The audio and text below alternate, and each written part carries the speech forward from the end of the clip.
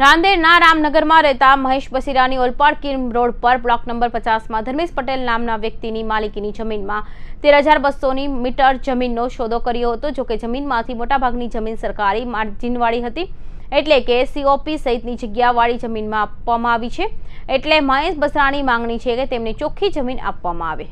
મહેશ બસરાણી, ધર્મેશ પટેલ એક કરોડ બત્રીસ લાખ રૂપિયા જેટલા પૈસા આપીને આ જમીનની ખરીદી કરી હતી. છેલ્લા બે વર્ષથી જમીનની માલિકી મહેશ બસરાની જમીન આપવામાં નો વાયદો કરી રહ્યા હતા, પરંતુ હજુ સુધી મહેશ બસરાની ચોખ્ખી જમીન આપવામાં આવી નથી. તેથી મહેશ બસરાની દ્વારા પોતાની પાસે ચોખ્ખી જમીન હતી. તેના બાંધકામ શરૂ કરવામાં આવ્યું હતું.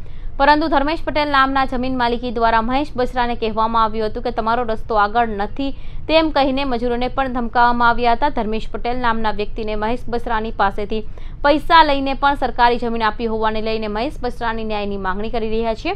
તો બીજી તરફ ધર્મેશ પટેલે પણ મહેશ બસરાની મજૂરોના હાથ, પગ ભાંગી નાખવાની ધમકી આપવાના પણ આક્ષેપો થઈ રહ્યા છે. મારું નામ ગિરધારીલાલ બસરાણી. રહેવાનું રામનગર રાંદેર. ઓલપાડમાં કનૈયા રેડીમેડની દુકાન છે ને ઓલપાડ કીમ રોડ પર બ્લોક નંબર પચાસમાં જે ધર્મેશભાઈના માલિકીની જમીન છે, તેમાં અમે તેર હજાર બસો એકસઠ મીટરનો સોદ, જમીનનો સોદો કરેલો. અમને, તેમાં અમને ચોખ્ખી જમીન જે છે, તે અડતાલીસો પંચાણું મીટર આપેલી છે.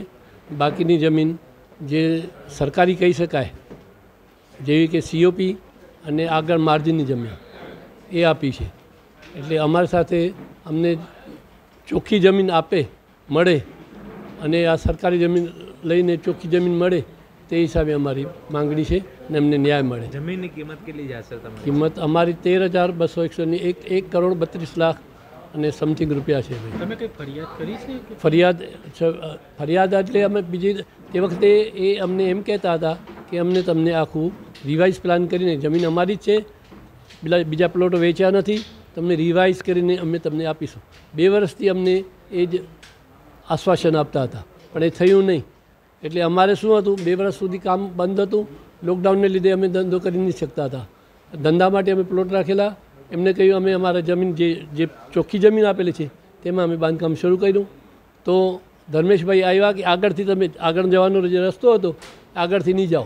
એ રસ્તો મારો છે, જમીન મારી છે. અમે કહ્યું, તમે એવિડન્સ આપો, તમે કઈ જમીન છે? તમે તો વેચેલી છે. સરકારી જમીન છે છતાં તમે વેચેલી છે. એમ કે, નહીં, એ તમને તમને એ ખ્યાલ નહીં, તમે આગળથી નહીં જવાનું. જશો તો મજૂરોને ધમકી આપી આવ્યા કે તમારા હાથ પગ તોડી કાઢીશું અને ખૂન ખરાબો થઈ જશે.